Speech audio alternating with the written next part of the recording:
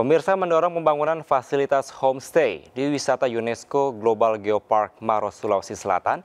Kemenparekraf memberikan fasilitas kemudahan pengajuan pinjaman dengan bunga rendah kepada para pelaku usaha rumah singgah di lokasi wisata Kars Ramang-Ramang.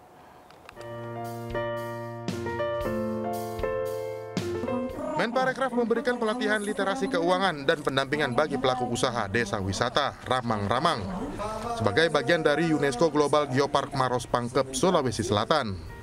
Sejumlah fasilitas di sekitar lokasi wisata pun perlu dibangun dan ditingkatkan, khususnya pembangunan homestay atau rumah singgah dengan konsep community based tourism atau pariwisata berbasis masyarakat.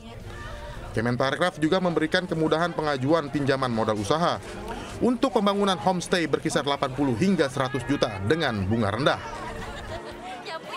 Kemenparekraf uh, bekerjasama dengan SMF untuk uh, memperkuat ekosistem homestay uh, dengan pembiayaan uh, berbasis uh, CBT atau Community Based Tourism.